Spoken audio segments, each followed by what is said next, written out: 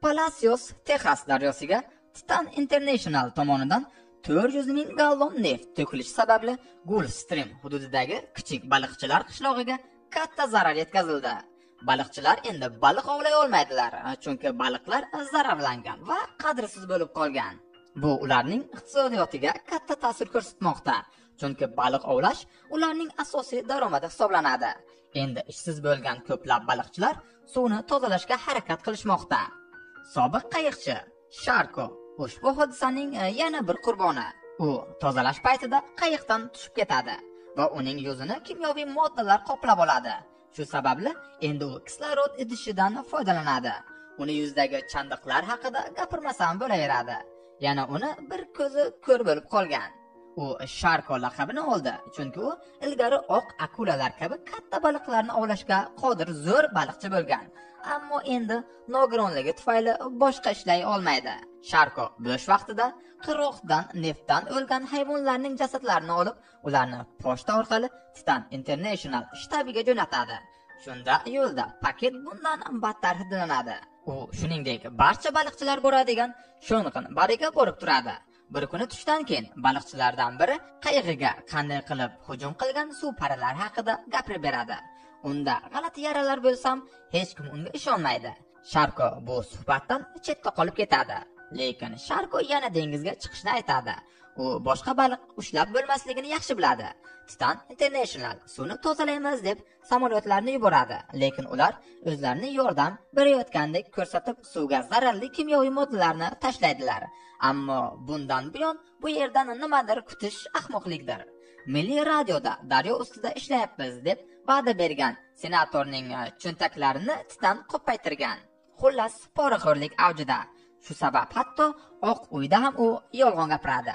Suhbat sharkuni kayfiyatini maksimal darajada buzish bilan yakunlanadi. Shuning uchun u tinchlanish uchun u yerdan ketadi. Uning tinchligini brezi buzadi. U sharkov qayig'ini boshqa ishlatmayotgani uchun uni qarzga berib turishni so'raydi. Biroq sharko oxirgi marta birga ishlashga uringanlarida nima sodir bo'lganini hali ham yaxshi eslaydi. Shuning uchun sharko yana u bilan ishlashdan bosh tortadi va brezi unga g'azab bilan baqira boshlaganda u ketadi. Sharko uyga kelgach odatdagidek televizor va ichish bilan oqshomni o'tkazadi. Ba'zan u dengizni shunchalik sog'inadiki uni o'ylab uxlolmaydi. Hatto sevgan qizini ham e, shunchalik sog'inmagan bo'lsa kerak. Shuning uchun u boshqa baliqchilarni suzib ketayotganida nima qilayotganlarini eshitish uchun radioni yoqadi. Dengiz bo'yida bo'lish uchun go'zal kun degan gap bor va bu sharkuni tinglashni davom ettira olmaydigan darajada xafa qiladi. Shuning uchun u bir muddat uydan chiqib ketadi. Sharko sohilda moyga botgan baliqni topadi va uni yuk mashinasiga tashlaydi. U ketmoqchi bo'lganida toshlar orasidan qichqirig'ini eshitadi. Va bu shovqin nima bo'lishi mumkinligini bilish uchun unga yaqinlashadi. Ma'lum bo'lishicha bu hayvon emas balki moy bilan qoplangan suv parisi. Sharko shokka tushadi va biroz qo'rqib ketadi. Shuning uchun u suv parisini daraxt shoxi bilan bir ikki marta turtdi. U xavfsiz ekanligiga ishonch hosil qildi. U qimirlamaganini bilgandan so'ng sharko uni paketga o'rab uyiga olib boradi. Unga birdaniga kislorod baloni va suv parisini sudrab borish qiyin lekin u taslim bo'lmaydi va uni ichkariga kiritadi. Keyin u vannani muz bilan to'ldiradi va radio yoqib suv parisini ichiga qo'yadi. Radioda boshqa baliqchilar baliq ovlaganlar ammo ularning hammasi zararlangan va bu foydasiz. Sharko ko'zguga qaraydi va u qo'li bilan chandiqlarni yopadi va foydasiz bo'lib qolishidan oldin qanday bo'lganini eslaydi. Sharko suv parisini ushladi. Bu foydasiz odam emasligini anglatadi. Shuning uchun sharko musiqa qo'yib uy aylanib raqsga tushib bayram qiladi. To'satdan telefon jiringlaganida u to'xtaydi. Bir advokat unga qo'ng'iroq qilib sharkoga titan internationalni sudga berishga yordam berishini aytadi. Sharko darhol go'shakni qo'yadi. Chunki u pul evaziga o'zining barcha jarohatlarini tuzatolmaydi va hech qanday yordam unga eski hayotini qaytarolmaydi. Kechqurun sharko ichib televizor ko'rayotganda hammomdan g'alati ovozlar kelayotganini eshitadi. U bu nima ekanligini bilish uchun borganida suv parisi tirikligini va u g'azab bilan paketdan chiqib ketayotganini ko'radi. Sharko qochib ketmasligi uchun eshikni yopadi va miltig'ini olishga shoshiladi. Qaytib kelib eshikni ochganida suv parisi uning ustiga sakraydi. Ular polda kurasha boshlaydilar va suv parisi sharkoni qo'lini tishlab oladi. Sharko o'zi bilan baliq to'rini ham olib kelgandi va u to'r bilan suv parisini o'rab vannaga qo'yadi. U miltig'ini unga qaratib uni otish haqida o'ylaydi. Lekin uning qulog'iga qurolini qo'yishga ishontiradigan qo'shiq yangray boshlaydi. Ertasi kuni sharko turli xil go'sht sotib olish uchun supermarketga boradi. U uyga kelgach suv parisini yog'lardan yana neftdan tozalaydi. Keyin u suv parisiga olib kelgan turli xil go'shtlarni taklif qiladi va suv parisi xom mol go'shtini tanlaydi. Shuning uchun sharko kichik bir go'sht bo'lagini olib uni ovqatlantiradi. Hammomdan chiqqach kechki ovqatga qaytishga va'da beradi. Kechqurun u televizor ko'rayotganda sharko o'lay agar yana hammomda kimdir qo'shiq kulayotgani eshitilyapti deb aytadi. U suv parisini o'ylab siqiladi va ular birga serial tomosha qilishlari uchun televizorni hammomga olib kiradi. Sharko suv parisiga bonanza haqida hamma narsani aytib beradi. Hatto dialoglardan ham iqtibos keltiradi. Sharkoni otasi bu ko'rsatuvni va umuman amerika televideniyasini yaxshi ko'rar edi va u ingliz tilini o'rganish uchun foydalangan. Nihoyat sharko uxlab qoladi. Suv parisi unga tegmoqchi bo'lib qo'lini uzatayotganda g'alati shovqinlar sharkoni uyg'otadi. U oshxonani tekshirganda brezi buzib kirganini va radioni ko'tarib olganini payqaydi. Sharko politsiyaga qo'ng'iroq qilish bilan unga tahdid qiladi lekin bu faqat brezeni aqldan ozdiradi. U radioni sindirib tashlaydi va sharkoga qayiqni qarzga bermagani uchun baqira boshlaydi. Faqat hammomdan shovqin eshitilgach o'zini to'xtatadi. Afsuski brezi sharkoning yonidan o'tib vannadagi suv parisini ko'radi. Brezi darhol hayajonlanib uni sotish orqali qancha pul ishlashlari mumkinligini o'ylaydi. Lekin sharko dengizning tozalanishi kutayotganini tushuntiradi va uni yana qo'yib yuborishini aytadi. Kelajakdagi rejalar hozircha bir chetga suriladi. Brezi uni bu ahvolda saqlolmaysan deb aytadi. Ertasi kuni ertalab u asboblarini olib keladi va sharkuni mehmonxonasining o'rtasida suv parisi uchun yetarlicha katta bo'lgan akvariumni yasaydi. Brezi tanaffus qilib perekur qilayotganda sharko unga otasi o'rgatgan ishi bilan faxrlanishi kerakligini aytadi. Buning evaziga brezi otasi sigaret yordamida qilgan tanasidagi chandiqlarni ko'rsatadi. Keyin u suv parisi orqali o'zining qadr qimmatini isbotlash haqida o'ylay boshlaydi. Sharko uni fikrini bo'lib bu haqda hech kimga aytmasligini aytadi. Aks holda uni olib ketishadi. U tilini tiyib yurishi uchun sharko breziga ular avvalgidek kapitan va yordamchi bo'lishlarini aytadi. Brezi uning oxirgi rad javobidan keyin shubha bilan qaraydi lekin sharko unga boshliq sifatida doimo qattiq munosabatda bo'lganini aytadi. Chunki u unga o'g'lidek munosabatda bo'lgan va buni unga otasi o'rgatgan.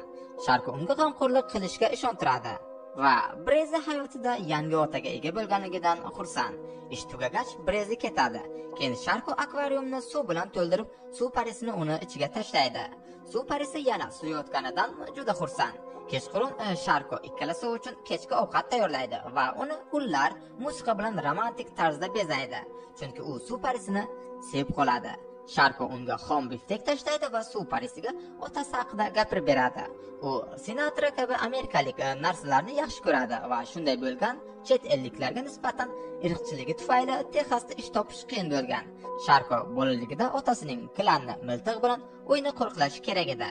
Baxtsiz hodisadan keyin sharko uchun hayot og'ir kechadi va uning fikricha ishdan ayrilish otasining ular uchun qurib bergan barcha narsalarni yo'qotish bilan barobar. Sharko gapirar ekan u uzoqdan qo'shiqni tinglab turardi va uning xayolida u g'alati ayol bilan seryozni ishlar qilayotgan tasvirlar paydo bo'ladi. Kutilmaganda eshik taqillaydi sharko eshikni ochadi va xayolidagi ayol kelganini ko'radi. U ichkariga kirib bo'sh akvariumni ko'radi. U aslida suv parisi va u dengizga xabar olib keladi. Sharko uni qutqargani va neftning dahshatini tushunadigan yagona odam bo'lgani uchun undan minnatdor. Suv parisi sharkoga rahmat aytish uchun uning jarohatlarini tuzatib uni o'padi sharko yangi tanasi bilan kechqurun sinatra sadosi ostida suv parisi bilan raqsga tushib seryozni ishlar qilishadi. U suv parisiga o'zining eski baliq ovlash sarguzashtlari haqida o'nlab hikoyalarni aytib berar ekan qaytib kelgan mushuklarni ko'rsatadi va okean qiroliman deb aytadi. Ular suhbatlanish uchun bir muncha vaqt dam olishadi. Sharko qayiqdan yiqilib tushganda cho'kib ketmoqchi bo'lganini tan oladi. Lekin endi uni sevadigan odami bor. Bir necha soat o'tgach sharko uyi tashqarisida to'xtab turgan mashinalarni payqab qoladi va suv parisiga uni tekshirib kelgunimgacha uyda qolishni aytadi. Sharko tashqariga chiqqanida u oldingi holatiga qaytadi. Buyog'i chol va oltin balig'i ertagiga o'xshab qoldi-ku. Bu esa so'nggi bir necha soat ichida konnutratsiyadan dalolat beradi. Hali shuncha narsa xayolmidi? Eh, Sharko. Mashinalar baliqchilarga tegishli bo'lib, Brez ularga suv parisi haqida aytib bergani uchun kelishgan. Ular Sharkoning dengiz haqida to'g'ri gapirganini tan olishadi, chunki ular hech narsa ushlay olmaydilar va endi Sharko uni sotish va yana hammaning oilasini boqish uchun suv parisini guruh sifatida baham ko'rish kerak deb o'ylashadi. Sharkoning yo'q deyishi ularni ketishga yetarli bo'lmaydi. Shuning uchun u miltiqni olib ogohlantirish sifatida yerga o'q uzadi. U yana o'zini okean qiroli deb aytadi va ularning har birini navbat bilan otib tashlash bilan tahdid qiladi. Bu esa nihoyat ularni ketishlariga majbur qiladi. Keyin Sharko yana ichkariga kiradi. U yerda suv parisi qo'shiq kuylab suzmoqda va yana Sharko uning qo'shig'idan gallyutsinatsiyaga uchraydi va bu sharkuni o'limga olib kelishini bilmaydi. Sharko hech narsa ularni ajratolmasligiga va'da beradi va suv parisini dengizga cho'milish uchun uni dengizga olib borishni taklif qiladi. U narvonni akvarium oldiga olib kelganida Sharko ular sohilda birga suvga sakrashayotganini tasavvur qiladi. Bu uni narvondan akvariumga sakraganini anglatadi. Bu esa suv parisi uni yeyishga imkon beradi. Film shu yerda yakuniga yetadi. Xullas, xulosa chiqarish o'zingizdan. Biz ko'p gapirmaymiz. Filmni 0 dan 10 gacha baholang. Kinosiga yoqqan bo'lsa, like bosib kanalimizga obuna bo'lishni unutmang. Ushbu kinodan qanday xulosa chiqardingiz? Albatta kommentariyada yozib qoldiring, bu biz uchun qiziq. Qo'ng'iroqchani bosib qo'ysangiz, bundan qiziqarli kinolarni sharhini o'tkazib yubormaysiz. Qanday janrdagi filmlarni ko'rmoqchi bo'lsangiz, albatta kommentariyada yozib qoldiring. Xayr, ko'rganda ko'rishguncha sog' salomat bo'ling.